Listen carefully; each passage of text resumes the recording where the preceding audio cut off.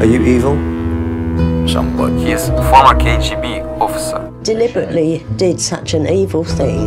Murder was afoot.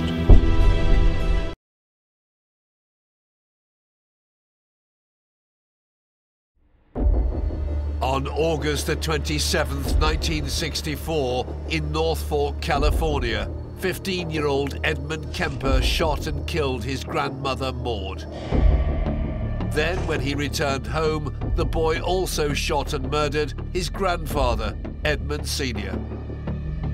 Do I think Kemper is an evil man? The answer has to be yes. He is the definition of violence and evil. You pray nobody else is out there like that again. Kemper Jr. then called his mother to tell her what he'd done. He says, I've killed my grandparents. And she tells him, well, you, you stupid boy, just call the police and wait there until they arrive. Released after just five years in a facility for the criminally insane, Kemper went on a killing spree that targeted young female co-eds. She was hitchhiking home from school. She was taken out to a remote area where she was shot in the head with a 22 caliber gun. In all, the vicious serial killer would slaughter 10 people, including his mother. He would typically dismember and sexually desecrate the bodies, making Edmund Kemper one of the world's most evil killers.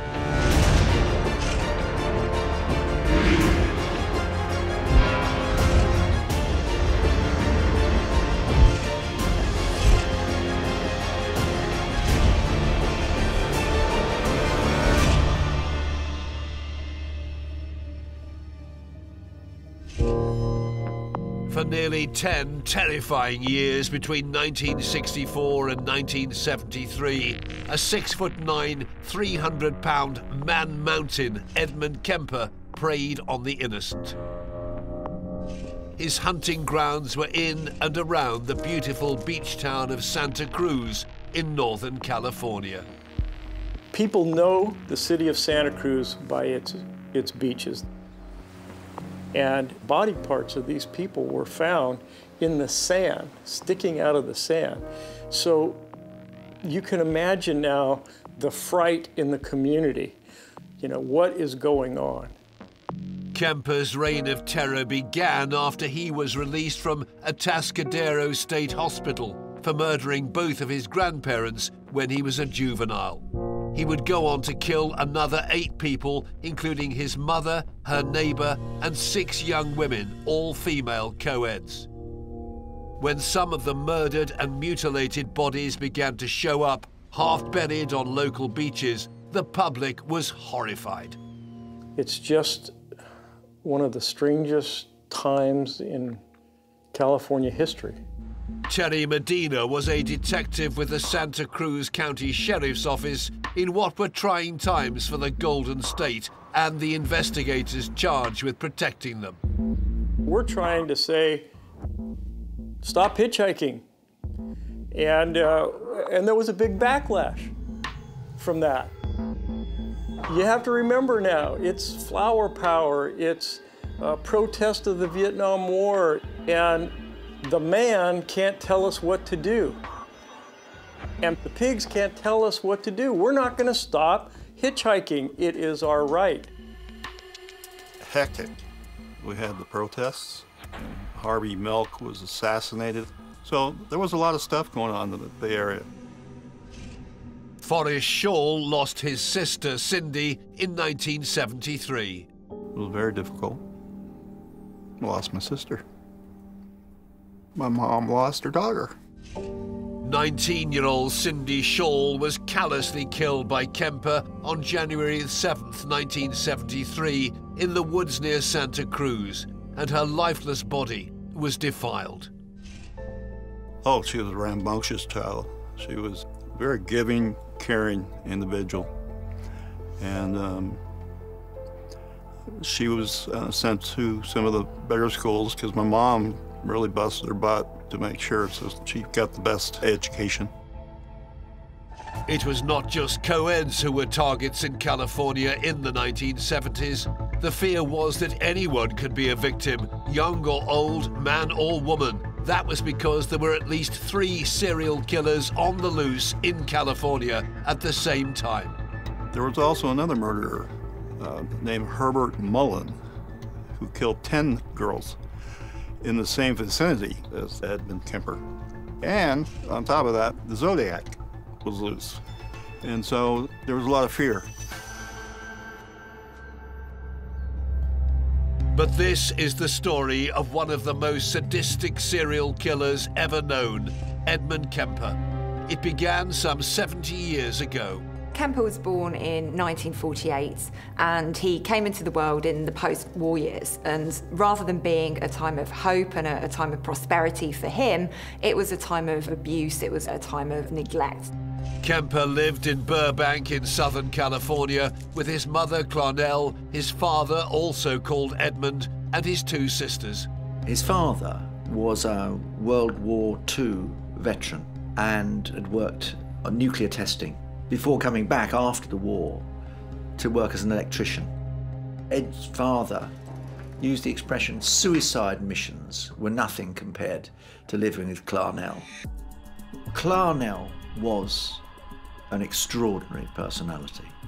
Neurotic, aggressive, alcoholic, and utterly domineering. She terrorized both her husband and her son, favouring the two daughters. In 1957, when Kemper was nine years old, his parents divorced. His mother took him and his two sisters to live with her in Helena, Montana. She would allegedly play havoc with the young boy's psyche. She demeaned him and she abused him and, and basically ostracized him and made him feel terrible. Kemper expresses more than almost any serial killer I've ever heard of a hatred of his mother that's indescribable. The young Kemper developed some macabre fascinations. He would play games with his sisters like gas chamber or electric chair. He would get them to tie himself to a chair. And then he would pretend to be electrocuted. Afraid that he would harm his sisters, when he was 10, Kemper's mother ordered him to sleep in the basement. Now, you can have two different views of this. One is that it's horribly cruel. And the other is this is a mother who did the only thing she could to protect her daughter.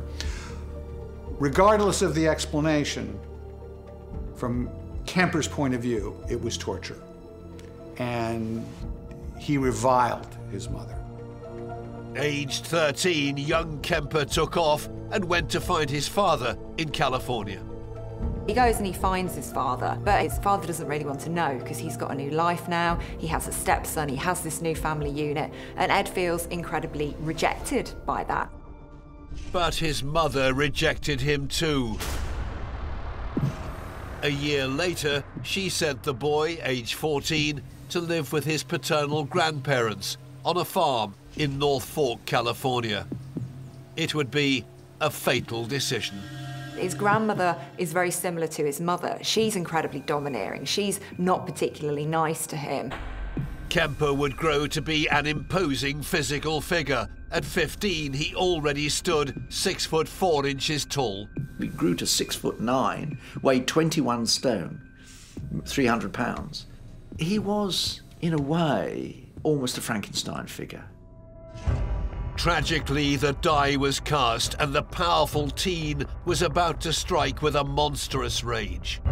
On August the 27th, 1964, a 15-year-old Kemper would kill for the first time. His grandmother is sitting at the kitchen table. Without really any warning, Kemper goes and fetches a rifle, which is in the house, and shoots her. In fact, he shoots her twice, just to make sure she's dead. Then he sits down at the kitchen table opposite the body of his grandmother and waits for his grandfather. And he shoots him too. Then, in a bizarre twist, Kemper made a surprising move. Immediately after he killed his grandparents, he calls his mother and he says, I've killed my grandparents. And she tells him, Well, you, you stupid boy, just call the police and wait there until they arrive. And he sits there waiting for the police. He doesn't run, he doesn't do anything. And when they get there and explain, he said, Why, I wanted to find out what it felt like to kill grandmother. Arrested and diagnosed with paranoid schizophrenia, Kemper was incarcerated in the Atascadero State Hospital in California. In the high security facility for the criminally insane, Kemper seemed to have found peace. He was an absolutely model inmate. Um, he helped the staff, he organised visits, he started doing psychiatric testing. They realised at Atascadero that he actually had an extremely high IQ, was 145. He's very smart, very manipulative. And he did what many serial killers can do. He convinced the staff of the hospital that he was cured. And so he was released. On his 21st birthday, December 18, 1969, Kemper was set free and his criminal records as a juvenile were sealed. In hindsight, a psychiatric report conducted after his release made for shocking reading. The report stated in part Edmund Kemper is no longer a danger to society.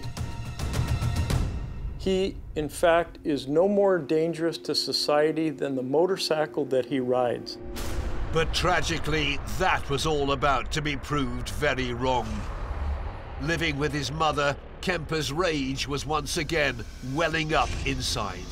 From the perspective of people with this, what I will call psychopathic rage, nothing less than killing, torture, and mayhem is sufficient to give even momentary relief.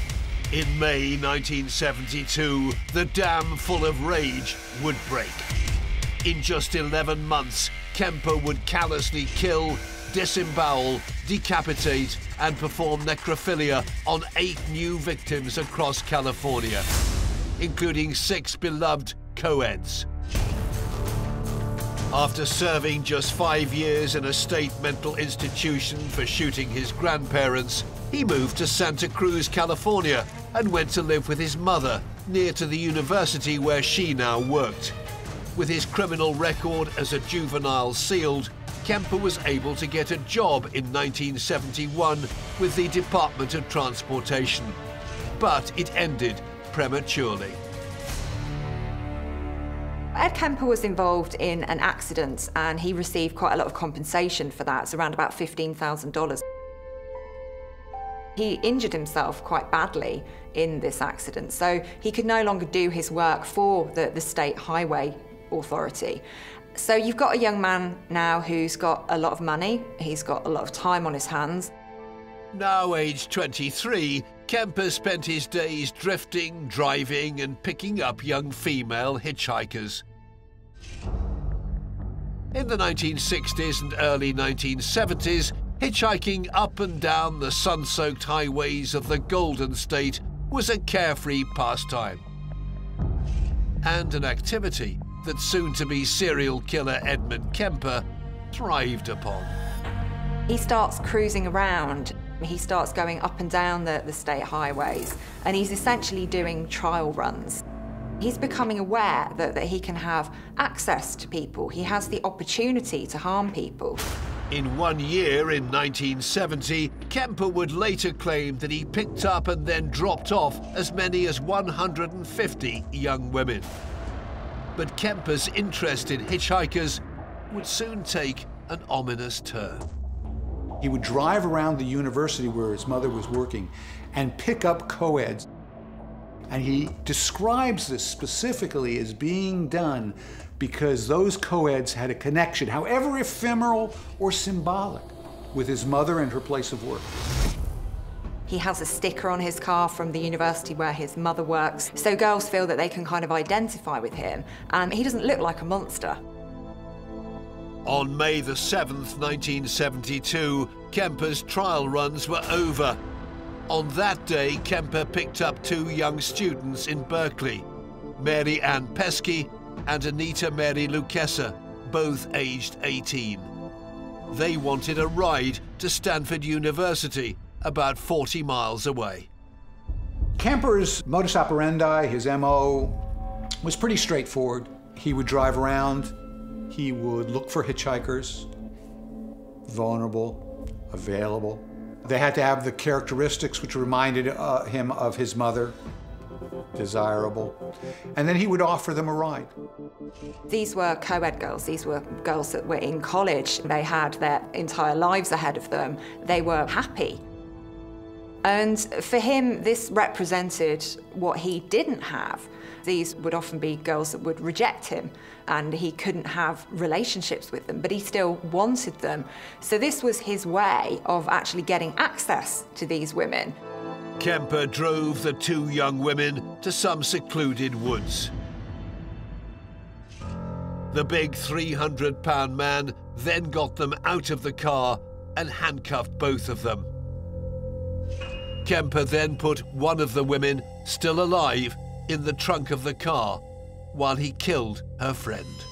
Often he'll say to them, I'm not going to kill you, in order to placate them and, and make sure that they, they, they don't make a fuss and, and try and run away. And then he does murder them, and then he has sex with their dead bodies. Kemper stabbed, then suffocated each girl in turn to death. He then put the bodies in the trunk of his Ford Galaxie and took them home to the apartment he'd now rented near to Santa Cruz University. There, he dismembered the bodies and gratified himself with the lifeless corpses. The horrifying aspect of Kemper now is that his sexuality is completely deformed. He cannot effectively operate sexually if the woman is alive. The only reason that he's not raping them before he kills them is that he doesn't want to be rejected by them. When you're having sex with the dead body, it's not going to reject you, it's not going to insult you or demean you in the same way that his mother had insulted or demeaned him. Kemper then stashed the body parts in plastic bags and stored some bits in his home and others in the trunk of his car.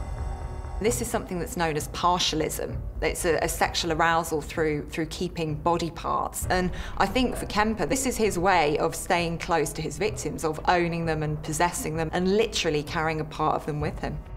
Kemper would later dump the violated body parts in the Santa Cruz Mountains near Berkeley.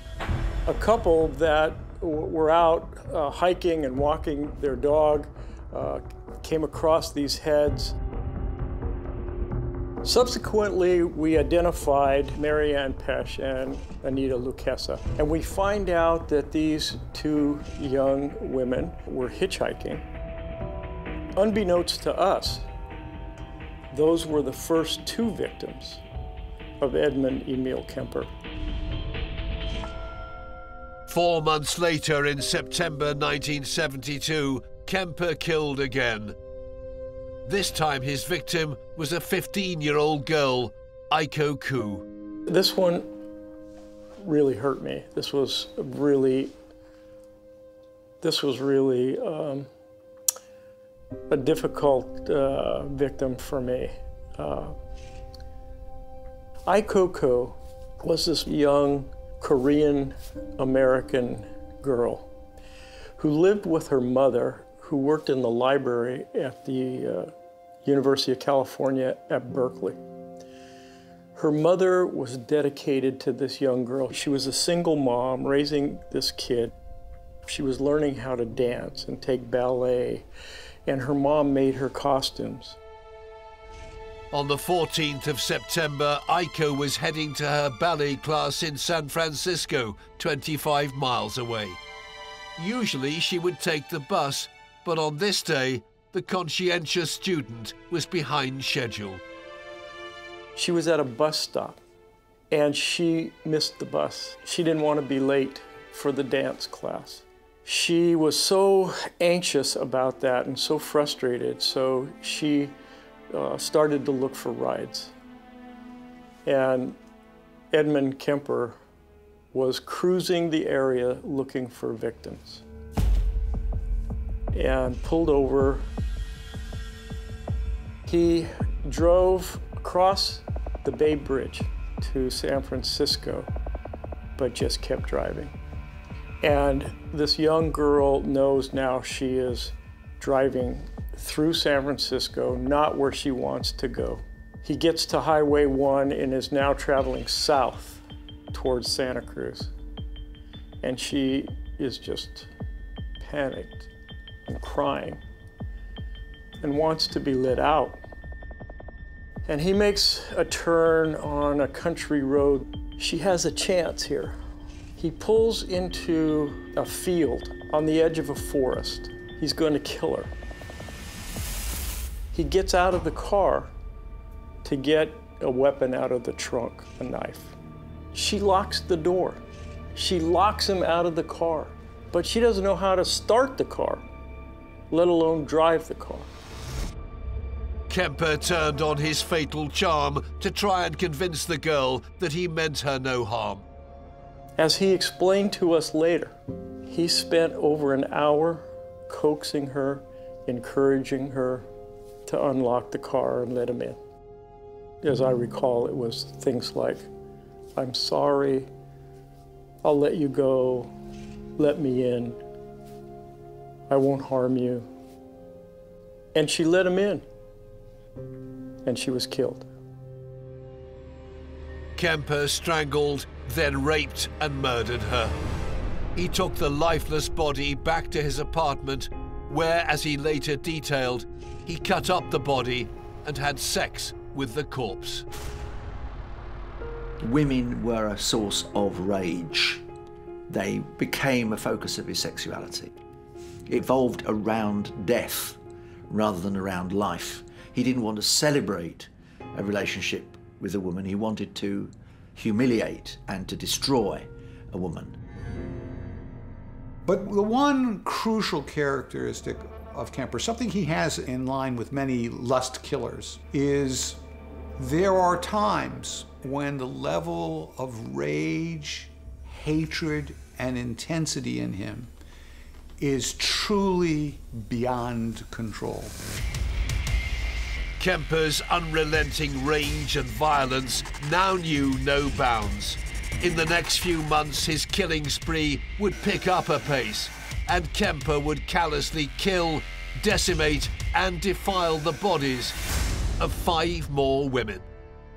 He engaged in necrophilia, he engaged in sexual acts with the dismembered parts of the body. Kemper eviscerated some of his victims. Evisceration is simply the process of removing organs from the body, opening up the body cavity and seeing that organs were missing would be immediately apparent and obviously very worrying. Making matters worse, at the time local detectives had little idea of what they were dealing with.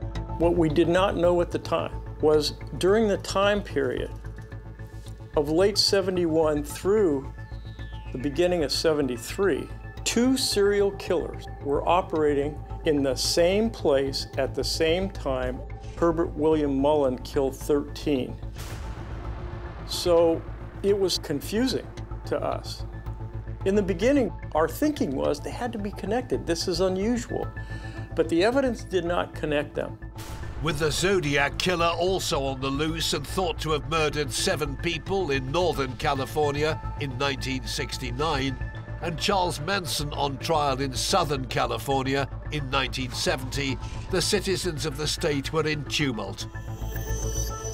We had two stores in, our community, and uh, they were selling out of guns and ammunition. In January 1973, Kemper struck again. His prey was 19-year-old Cindy Schall. For her family, the pain they felt is still hard to bear. Her brother Forrest recalls those harrowing first few days after she vanished. It was very scary because, you know, we didn't know if she'd run away or had been, you know, abducted. It's the middle of the winter and very depressing and, you know, you just start thinking of things. Cindy was a dedicated student and worked hard to help support herself. She took a job as an au pair in Santa Cruz, California, and attended school. Um, during the day, and then they would take care of the children uh, thereafter. And she went to, uh, it was a junior college called Cabrillo. It was adjacent to the Cal State University Santa Cruz. On January the 7th, Kemper was on the prowl again. He was on Highway 1, driving east, away from Santa Cruz. She was hitchhiking home uh, from school. It's cold, and a car pulled up, and it had a school staff sticker on the bumper. From the police reports, they said that she probably felt comfortable getting in, and um, she was taken out to uh, a remote area where she was shot in the head with a 22 caliber gun. And then we don't know all the details, but she was dismembered. Uh, parts of her body were thrown into the Pacific Ocean. Kemper kept her head. This is hard to speak about, but it's been almost 50 years, so it's, it's a little easier now. At the time, Kemper was still subject to regular psychiatric analysis, a condition of his parole after serving time as a juvenile for killing his grandparents. He was having an interview, a final interview with a psychiatrist in a nearby city. The psychiatrist, in his report to the court, said that Edmund Kemper was rehabilitated. The problem with that, that whole thing, Cynthia Schall's head was in a bag in the back seat of Edmund Kemper's car at the time of that interview with the psychiatrist. You often see this type of behaviour with serial killers. They get a kick out of it. They, they get bored with their offending and they want to mix things up and, and keep it interesting and have some fun. This kind of bizarre pseudo schizophrenic logic is, is classic of a level of pathology we, we see in very few people in the world.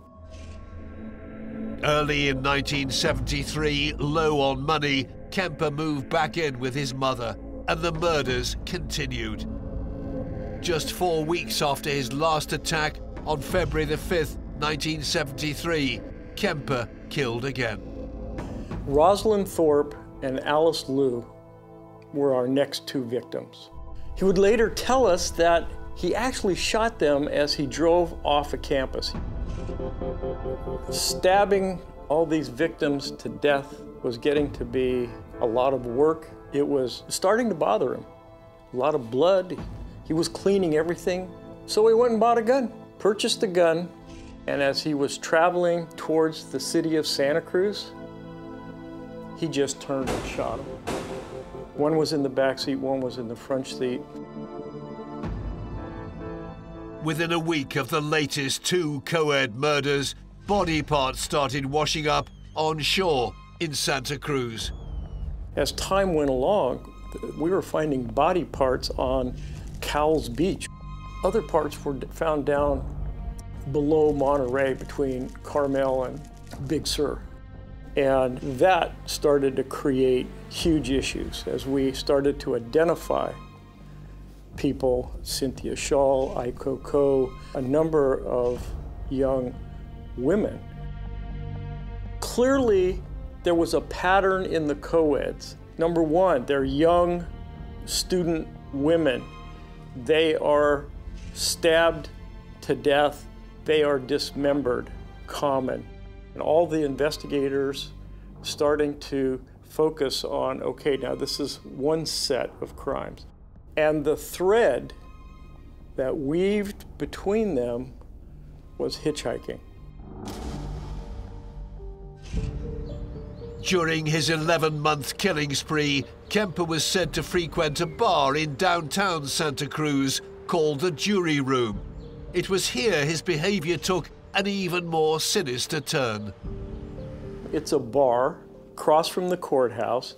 A lot of cops hang out there, a lot of people that work in the courts hang out there, lawyers hung out there. By all accounts, personally, Kemper was a gentle giant. Um, even some of the police officers he had befriended him described him that way. They called him Big Ed in a kind of friendly manner. So he knew that he was coming across as non-threatening. There's only one occasion that I remember seeing him there. He was at the far end of the bar. He didn't like push himself onto anybody that I saw. To me, it was almost like he was listening. Are any of the detectives there talking about any of these murder cases? Is he getting any information from us? Very interesting. He blended in very well there. He was picking their brains. He was trying to find out if they knew anything. I don't fault the cops. You know, how the hell would they know? I've never faulted the police, by the way. They, they did their job. But unbeknownst to Kemper, in April, a diligent clerk in Santa Cruz ran a routine check on a gun dealer's sales records. A records clerk at the sheriff's office finds a 3x5 card, Edmund Emil Kemper, same as on the dealer record a sale for the gun. All the information is blacked out. Why? Because his record had been sealed. But she could read through the blackout, and it said 187 PC, Madera, California. 187 PC is the California Penal Code for murder. Madera County was where he killed his grandparents many, many years ago. She brought that card to the detective lieutenant in the bureau and said, this gun has already been delivered to this guy. I'm not so sure he's supposed to have it, but his record is sealed. On April the 6th, 1973, two detectives went to question Kemper. He was not at home. They were driving away from the home he shared with his mother when the killer finally showed up. Kemper drives up and they watched him get out of the car. Remember, he's six foot nine. He's huge. He blocked out the sun. They identified themselves and said, made the inquiry about, did you buy a gun? He said, yes, I did. They said, we don't think you're supposed to have this gun and we want it. Now, he later said, I thought they knew I was the killer, that he was going to open the trunk and shoot them both. But they're very good cops, good training. They took his keys, they wouldn't let him open the trunk. They made him move far to the side. The, uh, one of them opened the trunk, took the gun, gave him a receipt, and they drove away.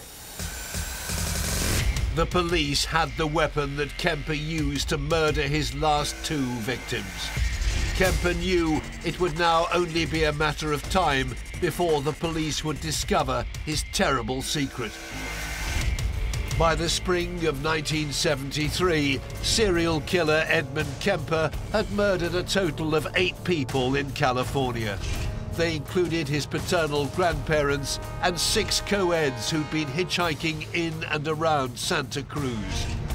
Having just been visited by the police over an issue with a gun license, Kemper decided to end it all with one final and ferocious act.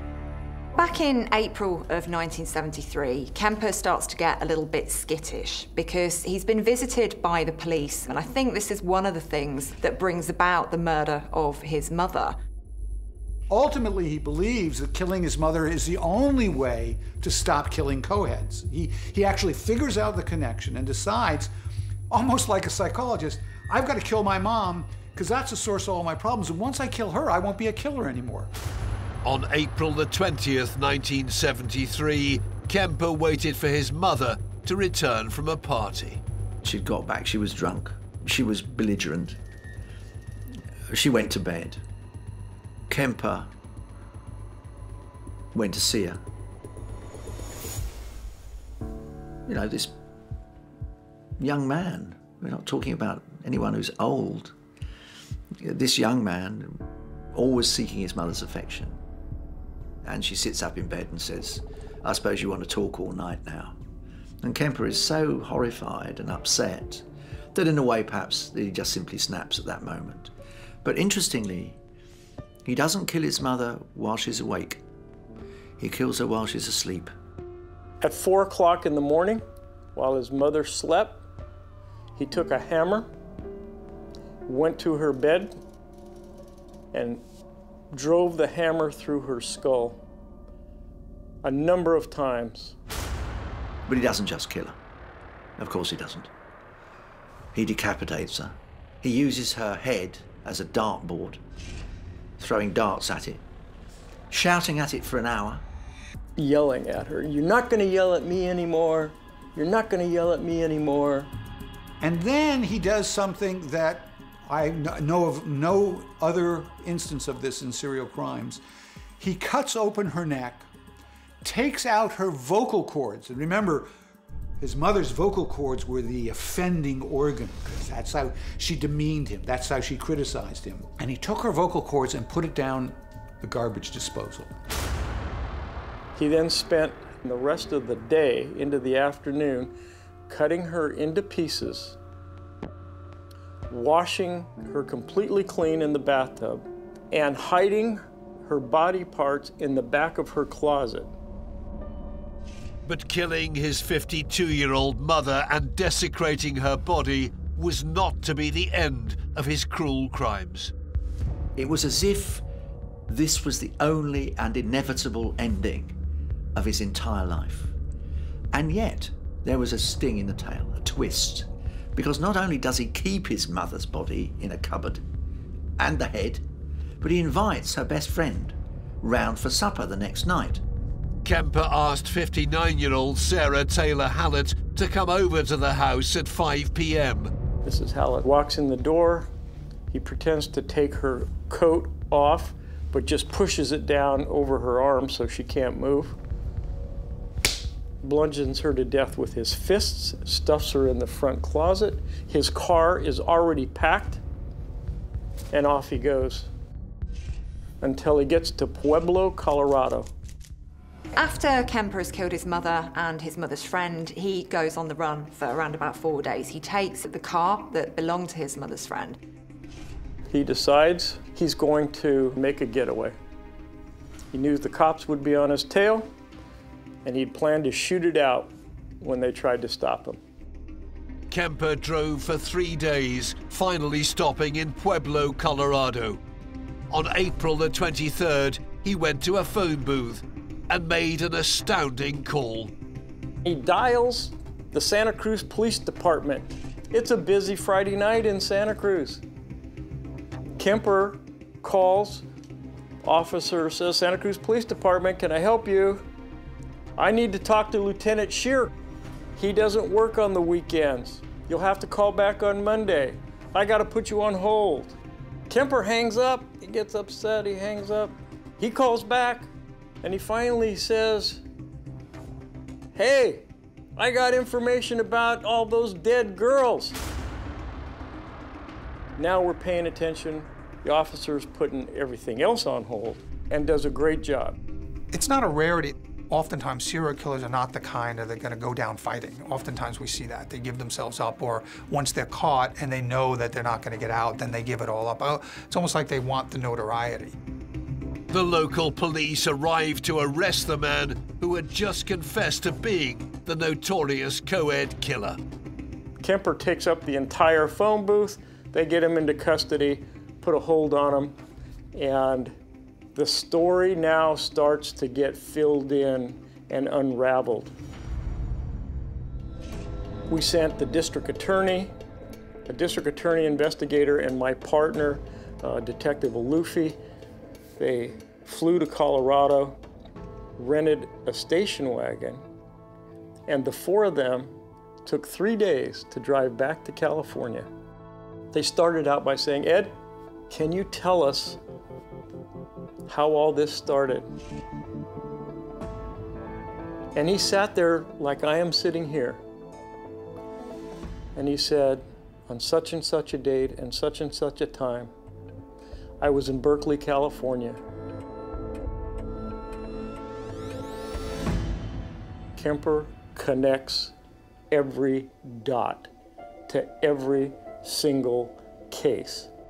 He was so precise, we were able to link the evidence to his statements to the crime scenes. According to some analysts, after killing his mother, Kemper had lost his murderous purpose. He said later, I started feeling the folly of the whole damn thing. But he said, and I think more tellingly, the original purpose was gone. And that was, of course, Clarnell.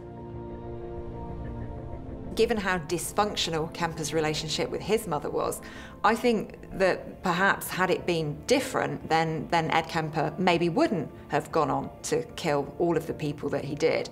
So I think that Kemper's mother, she started writing the story of the serial killer, but Kemper finished that. On May the 7th, 1973, Kemper was indicted for the eight murders he had confessed to. His trial began five months later, on October the 23rd that year. But there was a twist in the case. Edmund Kemper pleaded not guilty. He had a great law team. They hired one of the best forensic psychiatrists in California, if not the United States.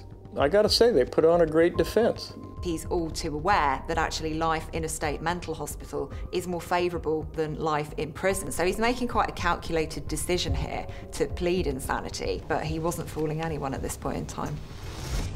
It's not our first rodeo. I've been to court a thousand times. You know what's coming. You know how a case is going to be attacked. On the prosecution side, we just keep putting the evidence in front of the jury how it connects to Edmund Kemper. It came down to really his state of mind. After just five hours of deliberation, on November the 8th, 1973, the jury declared Edmund Kemper sane and found him guilty of first-degree murder on all eight counts. He was given seven years to life on each count, and the terms are being served concurrently. Edmund Kemper is still in prison as we speak.